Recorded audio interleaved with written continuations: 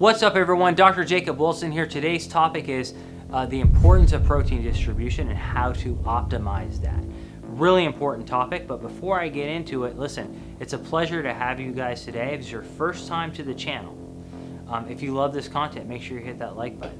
If you want to support the channel, the best way you can do it is share this content. So we just finished this study on vitamin E, and people are like, well, what does vitamin E have to do with protein distribution? Well, the study confirmed to me that what you see in the statistics in the overall American population is kind of what you see even in studies. We saw on average, people in this study were consuming 90 grams of protein a day, okay? The average amount of protein consumed actually in our society is around 90 grams a day. That's not much. Even more telling than that is how people distribute that protein. So typically what we see on the American pattern is people wake up in the morning and what they'll do is they'll have a cereal, like frosted flakes, and maybe, you know, milk. What's in that? 10 grams of protein maybe. Then maybe they'll head over to the store, they grab a, a, a chicken sandwich or a turkey sandwich, and that might have 20 grams of protein in a few slices. For dinner, you go over to a steakhouse or you have a couple burgers, you end up having 60 grams of protein. So 90 grams of protein, 10 grams, 20 grams, 60 grams.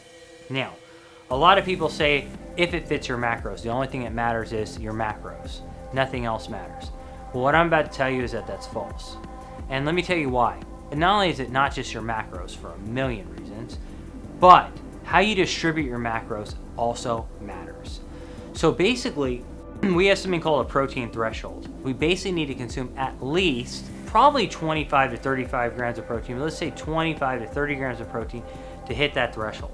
So if you look at this skewed distribution, maybe with breakfast, did they hit the threshold for building muscle and losing fat? No. With lunch, did they do it? 20 grams? Probably not, or maybe they just started. So the only time they maximize the threshold is at dinner. So what researchers have done, basically, actually fairly recent research that was done in conjunction with Dr. Donald Layman, the late, sadly, Paddon-Jones.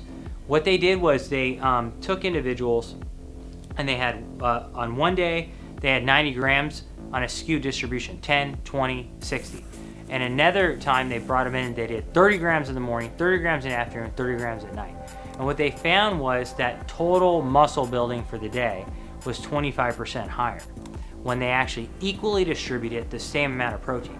So what does this mean? It means two things. Number one, if it fits your macros is wrong because distribution actually does matter. And then two, how we distribute our protein throughout the day does matter. And like I said before, equally distributing protein throughout the day is very important. And if you want to enhance that, have essential amino acids between meals. That's very important.